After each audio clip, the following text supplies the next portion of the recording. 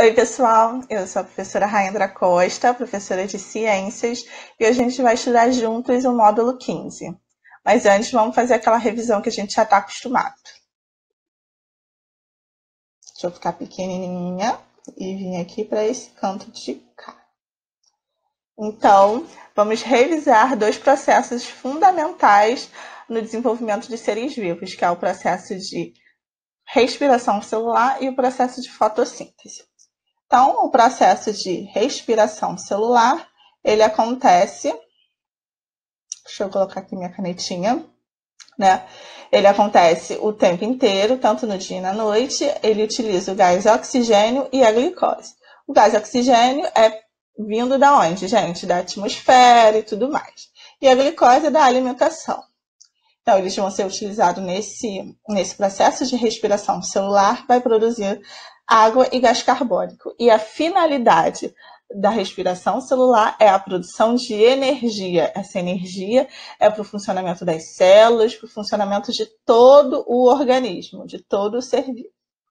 E o processo de fotossíntese, ele vai utilizar o gás carbônico e a água, ele ocorre numa iluminação adequada, então é com a presença da luz do sol, produzindo glicose, que é o alimento desse é, ser vivo, e o gás oxigênio. Então, a finalidade da fotossíntese é produzir o seu próprio alimento.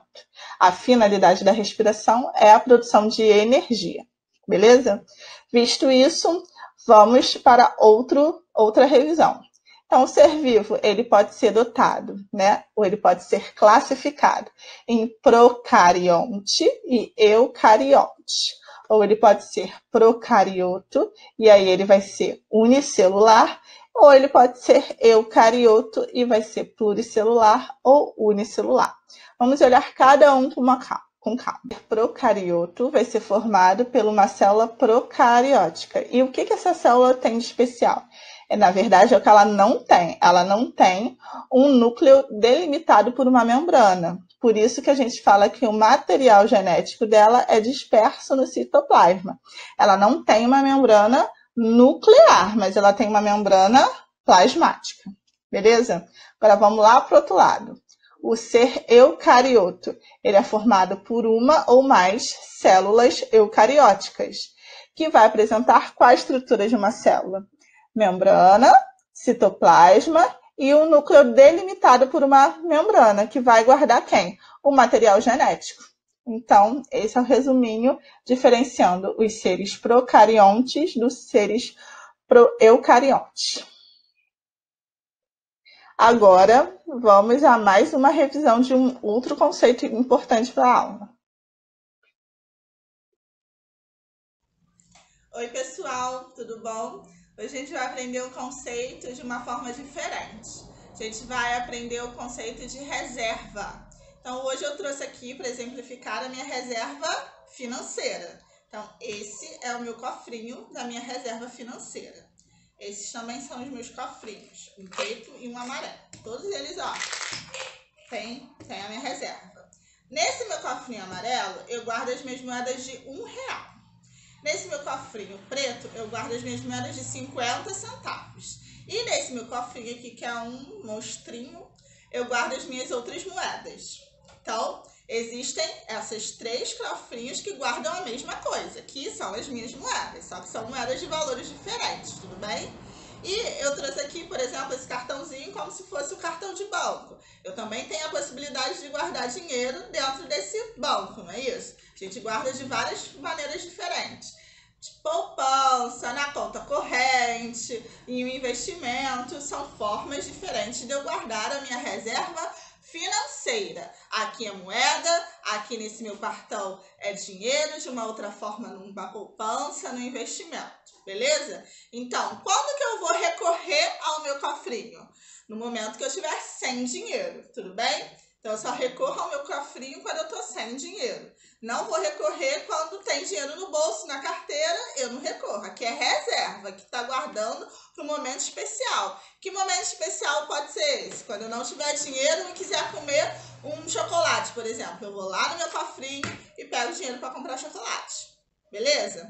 Agora a gente vai entender isso nos reinos. Então, eu trouxe aqui três potinhos para exemplificar. E eu tenho o reino dos vegetais, o reino animal e o reino dos fungos, que a gente vai aprender hoje.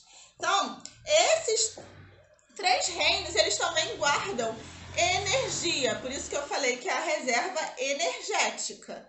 Então, eu tenho que os, as plantas, elas vão, os vegetais, né, as plantas, elas vão ter a sua reserva energética como amido. Nesse papelzinho aqui está escrito amido. Então, no vegetal vai ter amido. Nos animais, qual é a reserva energética deles? A principal, a reserva energética é o glicogênio. Vamos dar um exemplo aqui de um animal. Os seres humanos. Quando a gente passa um tempo, um período sem se alimentar, como é que o nosso corpo continua realizando as funções? Porque ele tem uma reserva. Essa reserva é o glicogênio. E os fungos vão ter uma característica semelhante aos animais. Por quê? Porque a reserva energética dos fungos também é o glicogênio. Beleza? Então, esse foi um exemplo para a gente poder entender o que é uma reserva energética. Os fungos têm a reserva energética igual a o dos animais, beleza? Então tá bom, pessoal. Vamos para a aula de hoje. Então agora nós podemos avançar para o módulo 15.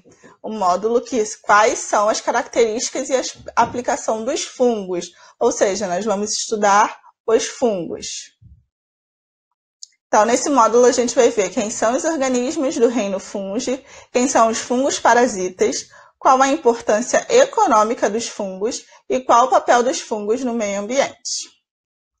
Então vamos lá. Quem são os organismos do reino fungi? Nós vamos ver as características, a diversidade do reino e a reprodução. Os fungos, a gente sabe que eles podem ser unicelulares. E quais são os fungos unicelulares? são as leveduras. Elas são utilizadas para a preparação de massas e de pães. A gente vai ver lá na frente como é que ocorre esse processo. Mas as leveduras são representantes do reino fungi. E nós temos um outro fungo que causa o, a frieira ou pé de atleta, que é uma micose que tem no pé.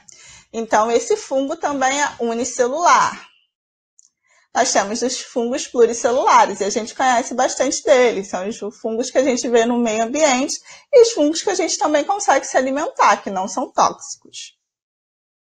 Nós sabemos que os fungos são eucariontes, por quê? Porque eles possuem uma membrana nuclear e eles possuem parede celular, ou seja, antes da membrana plasmática você tem a formação da parede celular, que é formada de quitina. Lembra lá nos vegetais de que, que é formada a parede celular? É de celulose. Aqui nos fungos é de quitina. Outra característica, eles são heterotrófos, ou seja, eles não produzem o seu próprio alimento. Mas como assim? Se os fungos ficam presos, né? Eles não se movem, são organismos imóveis, a gente chama de sésseis, ou seja, eles não se movimentam. Como eles se alimentam? Como eles não produzem o seu próprio alimento. Então a gente fala que os fungos eles são heterotrófos por absorção, porque lá naquele substrato onde ele está fixado, ele vai absorver todos os nutrientes. E a reserva energética dos fungos, como eu falei anteriormente, é o glicogênio. E os fungos também podem ser aeróbios, ou seja, eles vivem na presença do oxigênio e eles podem ser anaeróbios, ou seja, eles sobrevivem na ausência do oxigênio. E nisso eles fazem a fermentação, que é aquele processo que os pães eles conseguem crescer. A gente vai ver lá na frente como isso acontece. Então, essas são as características gerais dos fungos. A estrutura de um fungo. Então, a gente tem as hifas, que são finos filamentos que se entrelaçam formando uma rede. E essa rede a gente chama de micélio. Então, o micélio é um conjunto de hifas. As hifas são vários filamentos com várias células e elas são emaranhadas e formando uma rede que se chama micélio. E a gente tem o corpo de frutificação ou corpo frutífero, que é aquele cogumelo assim que a gente consegue ver a olho nu.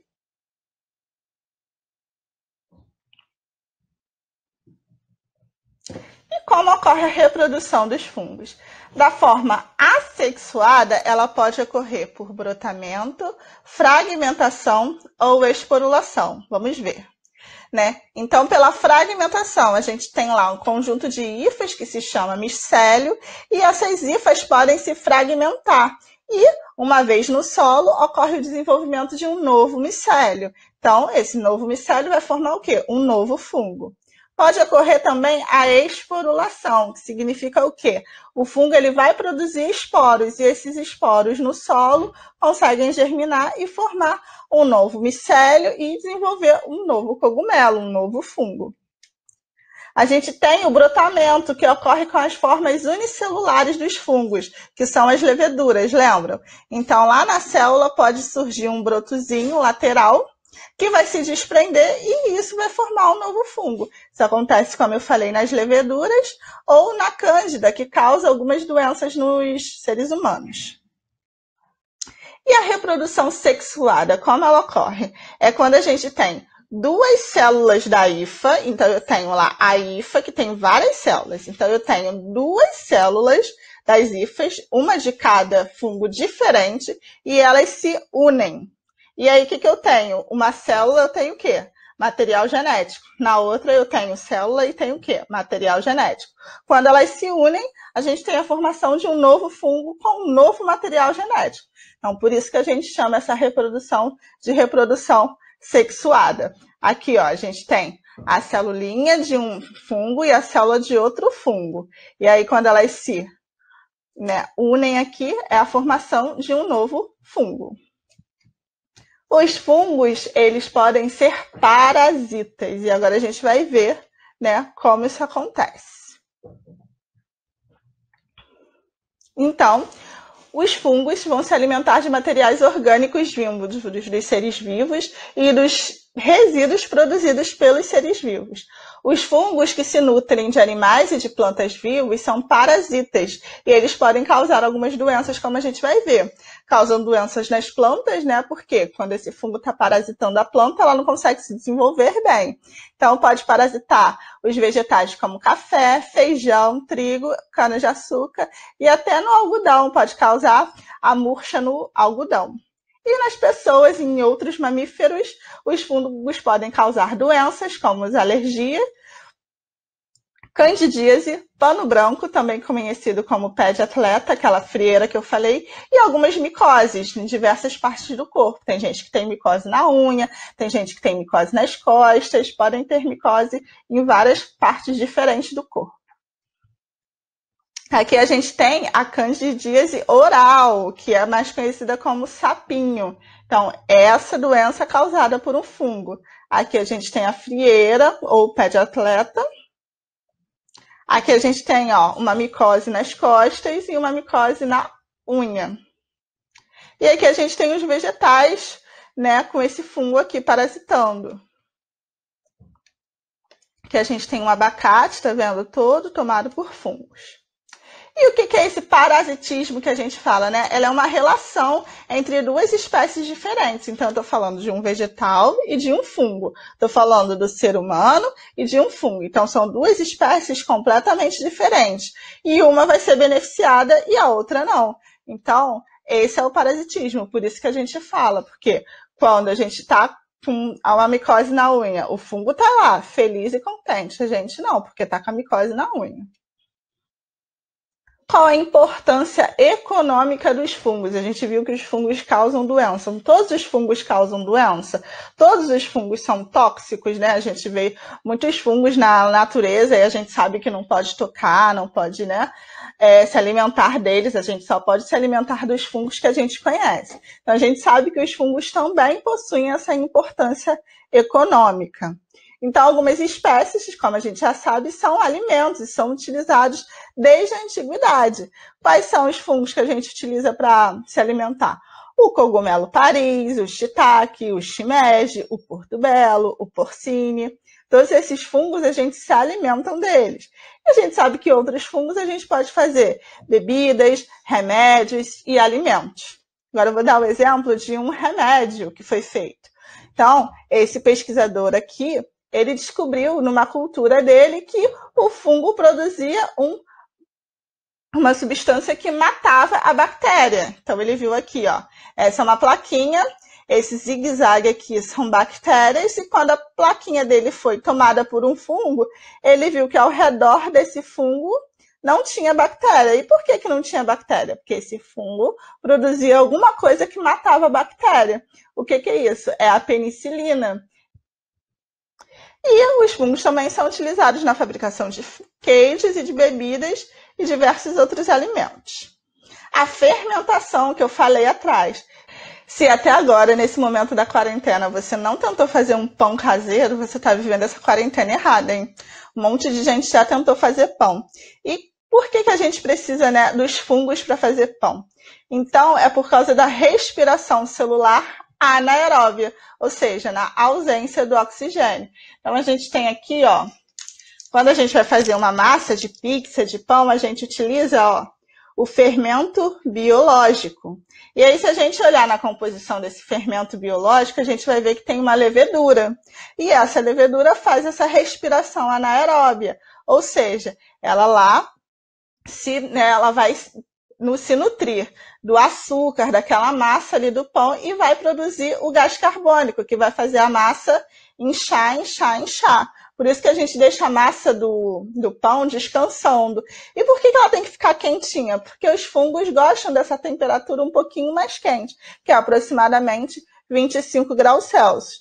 Por que, que não pode a gente deixar o, o, o a massa do, do do pão crescendo dentro do forno desligado, porque precisa ficar quentinho. Se a gente ligar o, o, o, forno e assar esse pão, o que, que acontece com esse fungo? Ele morre. Então, quando a gente come o pão já prontinho, não tem mais fungo, ele já morreu.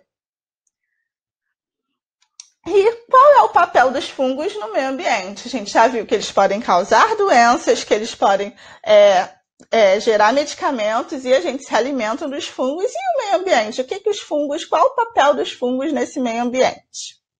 Então, a gente fala que os fungos são saprófagos. O que, que significa isso? Já expliquei lá na outra aula. É quando eles são decompositores. Então, os fungos, junto com todos os outros seres vivos que a gente já viu, eles podem fazer a decomposição da matéria orgânica de plantas e de animais mortos. E aí ele vai fazer o quê? A reciclagem dessa matéria orgânica. Aqui tem o exemplo de um pão mofado. E aí, por que, que a gente fala que a gente não pode comer esse pão mofado? Porque a gente está vendo o que aqui? A gente está vendo a olho nu que ele está mofado, mas a gente não viu que tem as hifas e essas hifas formam micélios. Se a gente tirar só essa parte que a gente vê aqui que tá, né, que tem fungo, a gente está tirando todo o fungo desse pão? Não, né, porque a gente sabe que a gente tem as hifas, os micélios, que eles são bem pequenininhos e a gente às vezes não consegue ver e está tomado pelo pão. Então, o fungo ele pode ser decompositor. Além da relação de parasitismo, os fungos também fazem uma relação de simbiose. E o que, que é essa relação? Nada mais é do que uma relação ecológica em que ambas as espécies vão se beneficiar.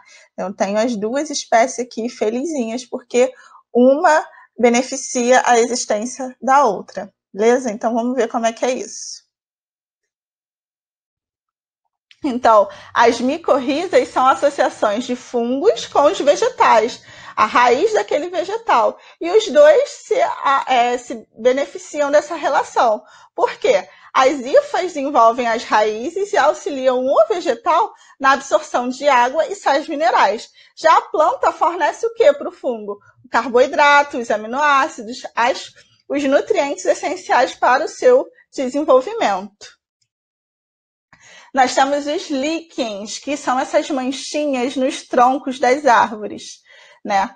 Quando a quarentena passar e todo mundo puder ir na rua, passear, bem legal, a gente agora vai observar os troncos das árvores. E quando vocês verem essas manchinhas, vocês vão saber que são líquens, que é a associação de alga ou cianobactérias com os fungos. e essa relação também é benéfica. Por quê? Porque as algas fazem fotossíntese e produzem seu próprio alimento que vai ser o quê? O nutriente do fungo.